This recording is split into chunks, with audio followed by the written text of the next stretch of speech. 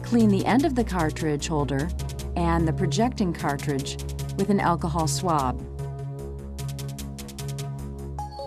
Remove the seal from the end of the new needle unit.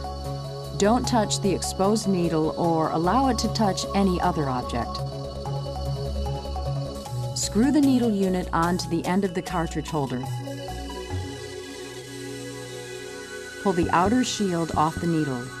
Do not throw it away. You will need it later to remove the needle unit from the pen. Pull the inner shield off the needle and discard it. Hold the pen upright and tap the cartridge holder to enable air bubbles to escape through the needle. Dial the dose knob so that number one is in the dose scale window and prime the pen according to the manufacturer's instructions.